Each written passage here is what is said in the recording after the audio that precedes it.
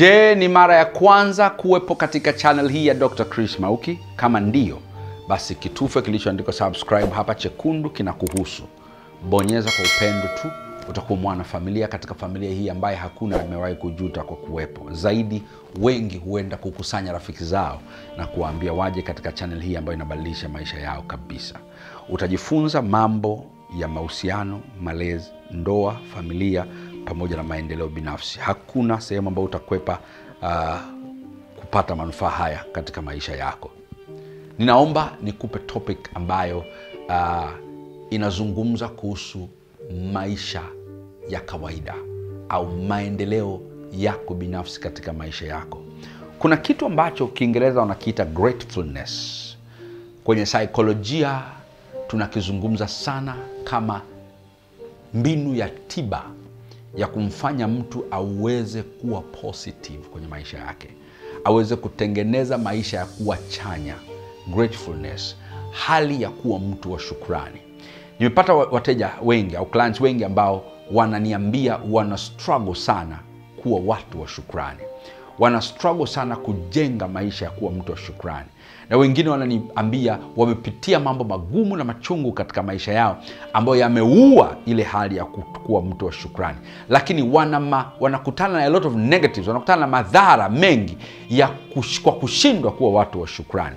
Nimeona kwa sababu watu wengi wanalalamika jambo hili, nilitengenezea topic ili, ili, ili uweze kuwasaidia watu wengi kwa wakati mmoja, na topic hii inasema vikwazo vinne vinavyokuzuia kuwa mtu wa shukrani. Vikwazo vinne vinavyokuzuia kuwa mtu wa shukrani. Kwa vikwazo hivi unaweza kujikuta unashindwa kuwa mtu wa shukrani, na unaposhindwa kuwa mtu wa shukrani au mtu wa kushukuru, madhara yale yaliyo mengi ya kuwa mtu wa shukrani yanakujia na unapata matatizo, na nitakufundisha siku nyingine uh, nitakufundisha topic pia ya nini sasa madhara madhara ya kushindwa kuwa mtu wa shukrani, madhara ya kushindwa kuwa mtu wa shukrani. Vikwazo hivi vinaweza vikakuletea yale madhara. Leo nikupe vikwazo, alafu siku nyingine nitakupa madhara. Kikwazo cha kwanza, unaposhindwa kufahamu kusudi la wewe kuwepo duniani unaposhindwa kufahamu kusudi la wewe kuumbwa na Mungu, haijalishi ulizaliwa kwa namna gani na kwa mbinu gani na kwa ubaya kiasi gani, kitendo cha wewe kuzaliwa na kupumua na uko hai mpaka leo, Mungu ana kusudi na wewe. Sasa lile kusudi unalijua. Ukishindwa kulijua lile kusudi, kuna uwezekano mkubwa sana ukashindwa kuwa mtu wa shukrani, kwa sababu unafikiri upo kwa bahati mbaya. Wale ambao wanajua hawako kwa bahati mbaya, ndani ya mioyo yao wana kitu cha kumwambia Mungu na shukuru, na wana kitu cha kufanya kwenye maisha ya watu wengine, kwa sababu wanajua kabisa lazima wafanye kitu kwenye maisha ya watu wengine. Na wawashukuru watu wengine, kwa sababu ndani yao wana kusudi la kuwepo. Ukijua kusudi lako, ni rahisi sana kumshukuru mtu aliyekulipia ada, ni rahisi sana kumshukuru mtu aliyekukwamua sehemu rahisi sana kumshukuru mtu aliyefanyika mwema katika maisha yako, kwa sababu unalijua kusudi lako. Kikwazo cha pili ni maisha ya kujilinganisha na watu wengine. Huwezi kuwa mtu wa shukrani wakati unajilinganisha na watu wengine. Utakuwa mtu wa kujicriticize na mtu wa kujiona hasi, kwa sababu kila unayemwangalia unajiona wewe ni mdogo, umepungua. Wenzako wanafanya vitu, wananunua magari, wanaoa, wana watoto, wanafanya hivi, wewe huko nyuma. Kwa hiyo huwezi kuwa mtu wa shukrani. Huwezi kuwa mtu wa shukrani kama unafanya comparison life, maisha ya kujilinganisha na watu wengine na kushindana nao. Hicho ni kikwazo cha wewe kuishi maisha ambayo tunaita ni gratefulness, maisha ya shukrani.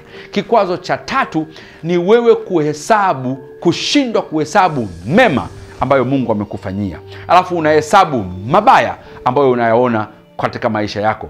Unashindwa kufahamu kabisa, kuna vitu ambavyo unaviona kwa watu wengine, wamepitia magumu, wameshindwa, wamekufa, wengine wamepata magonjwa, wengine wamelazwa, lakini wewe ukiangalia, kuna mambo mema mengi sana Mungu amefanya katika maisha yako, huyaangalii, huyahesabu. Waingereza wanasema you count your blessings, hesabu baraka zako, utakuja kujigundua ni nyingi kuliko mambo unayolaumu kwa kushindwa kukagua mema ambayo watu wanakufanyia, mazuri ambayo yanatokea katika maisha yako, utajikuta unaona kwako ni mabaya tu, kwa wengine ni mazuri tu.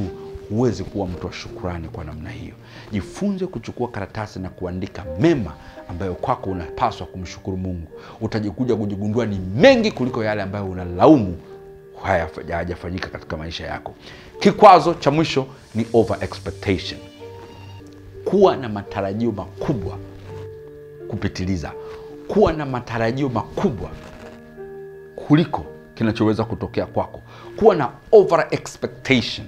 Over expectation kwa mke wako, over expectation kwa mume wako, matarajio makubwa kwa watoto wako, matarajio makubwa kwa bosi wako, matarajio makubwa kwa hela yako, matarajio makubwa kwa mshahara wako.